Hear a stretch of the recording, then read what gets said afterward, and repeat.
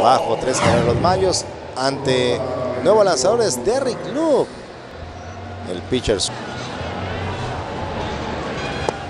Recta pegada, Manica González. Lo arregló, lo cepilló.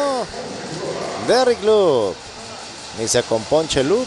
Lanzador zurdo, pichó pegado, muy incómodo para González. Cayó el primero de la octava. Gran curva, sin tirarle el chocolate. Hasta Castillo con el, Sí. con el casco ahí le dice a Luke, tremendo picheo.